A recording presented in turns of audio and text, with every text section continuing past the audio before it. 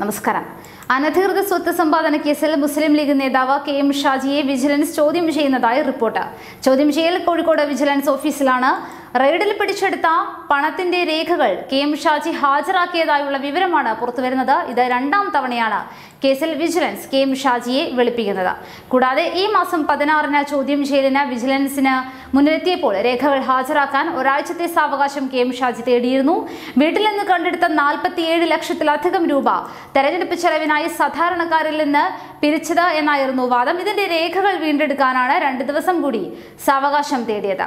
അനധികൃത സ്വത്ത് സമ്പാദന കേസിൽ K M Shaji M L A Kozhikode vigilance ഓഫീസിൽ എത്തുകയായിരുന്നു. റെയ്ഡിൽ പിടിച്ചെടുത്ത പണത്തിന്റെ രേഖകളും ഹാജരാക്കിയിട്ടുണ്ട്. ഏപ്രിൽ പതിനാറിന് തൊണ്ടയാട്ടെ വിജിലൻസ് സ്പെഷ്യൽ സെൽ ഓഫീസിൽ അഞ്ചു മണിക്കൂറോളം ചോദ്യം ചെയ്ത ശേഷമാണ് രേഖകൾ ഹാജരാക്കാൻ എസ് പി എസ് ശശിധരൻ ഒരാഴ്ചത്തെ സമയം അനുവദിച്ചത്. പരിശോധനയ്ക്കിടെ കണ്ണൂരിലെ വീട്ടിൽ നിന്ന് പിടിച്ച നാൽപ്പത്തിയേഴ് ലക്ഷത്തി മുപ്പത്തി അയ്യായിരത്തി അഞ്ഞൂറ് രൂപയുടെയും അനധികൃത സ്വത്തായി കണ്ടെത്തിയ ഒന്നേ പോയിന്റ് നാല് ഏഴ് കോടി രൂപയുടെയും സ്രോതസ്സുകളാണ് വിജിലൻസ് പ്രധാനമായും ആവശ്യപ്പെട്ടത്. പിടികൂടിയ പണം സംബന്ധിച്ച ചോദ്യത്തിന് തെരഞ്ഞെടുപ്പിന് പിരിച്ച തുകയാണിതെന്നായിരുന്നു എം എൽ എയുടെ മറുപടി. അതേസമയം അനധികൃത വീട് നിർമ്മാണ കേസിൽ നിന്ന് തടിയൂരാൻ വീടിന്റെ ഒരു ഭാഗം കെ എം ഷാജി പൊളിച്ചു മാറ്റിയിരുന്നു.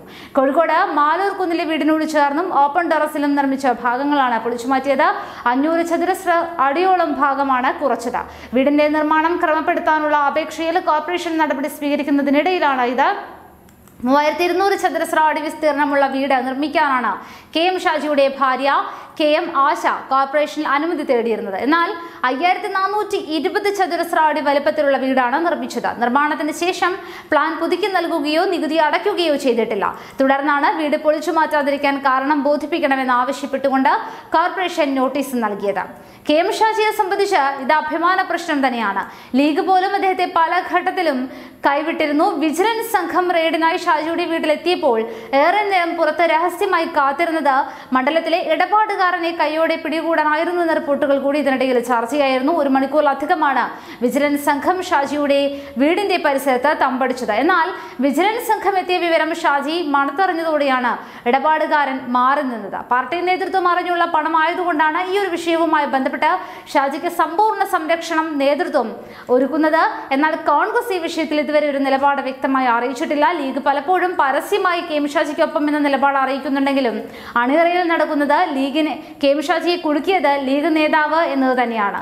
പണവുമായി ബന്ധപ്പെട്ട സ്രോതസ്സുകൾ വിജിലൻസിന് മുന്നിൽ വെളിവാക്കാൻ നിലവിലുള്ള തടസ്സം ചില നോട്ടുകെട്ടുകളുടെ സീരിയൽ നമ്പറുകളാണെന്നാണ് കെ എം ഷാജി അന്ന് പറഞ്ഞിരുന്നത്. അത്രയും വലിയ തുക സംഭാവന നൽകിയതാണെങ്കിൽ അവരും വിജിലൻസിന്റെ ചോദ്യങ്ങൾക്ക് ഉത്തരം പറയേണ്ടി വരും എന്നുള്ളത് തന്നെയായിരുന്നു ഒരു പ്രതിസന്ധിയായുള്ളത്. ഈ പ്രതിസന്ധിയെ കെ എം ഷാജി തരണം ചെയ്തിരിക്കുന്നു എന്ന് വേണം മനസ്സിലാക്കാൻ. പാർട്ടിക്കകത്തെ ഷാജി വിരുദ്ധരുണ്ടാക്കിയ പൊല്ലാപ്പിൽ നിന്നും രക്ഷപ്പെട്ടു വരിക. അത്ര എളുപ്പമല്ല. തുടർഭരണം ലഭിച്ചാൽ സി പി എം ഷാജിയെ പൂട്ടും എന്നുള്ളതും ഏറെ അങ്കലാപ്പോടെ തന്നെയാണ്. ഷാജി പക്ഷം നോക്കിക്കാണുന്നത്. പലപ്പോഴും ഇടതുപക്ഷത്തിനെതിരെ ആഞ്ഞടിച്ചിട്ടുള്ള ഒരു നേതാവ് കൂടിയാണ് കെ എം ഷാജി. അതുകൊണ്ട് തന്നെ കെ എം ഷാജിയെ ഒതുക്കുവാൻ ഇടതുപക്ഷം അധികാരത്തിലേറിയാൽ നിഷ്പ്രയാസം സാധിക്കും. ഇത് വലിയൊരു ആരോപണ വിഷയമാക്കി മാറ്റുമെന്നതും വാസ്തവം തന്നെയാണ്. അതുകൊണ്ട് തന്നെയാണ് കെ എം ഷാജി സേഫ് സോണിൽ നിന്നുള്ള കളികൾ മുന്നോട്ട് വയ്ക്കുന്നത്.